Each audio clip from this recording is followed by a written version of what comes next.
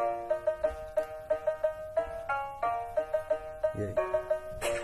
म त खुल्ला आकाशमा उड्ने पन्छी तर मन देख्छु यहाँ मलाई कुट्ने जन्जिर म कराए आटिए मलाई निकाल भनेर मेरो मनोरञ्जन लियो मैले गीत गायो भनेर सानो चल्लो छोडी हिँडेथे खानाको खोजीमा। कतै केही पाएन दुई दानाको भोगी म फर्किन लाग्दा पर्यो टाउकोमा झटारो मन निकै अताले मलाई पिन्जडामा खसाल्यो। ख्याल त राख्छन् तर तल्लो मरिन् होला राति पानी पर्दा हावा आउँदा के गरिन् होला आमा बाबा भनी कति कराए कि होला छिमेकीलाई निकै बाल्थ्यो पराएकी छोरा आफू त पिन्जडामा श्रीमती लगिन् चिल्ले हुन्थ्यो कल्पना र वर्तमान अहिले मिल्दे। त्यही छोराहरूको यादमा तर्किरहेको छु म जिउँदो लास पनि दिनदिनै सडिरहेको छु म।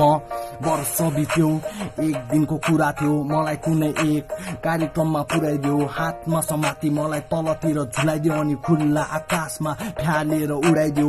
एक मनले खुसी तर मनमा निकै डर।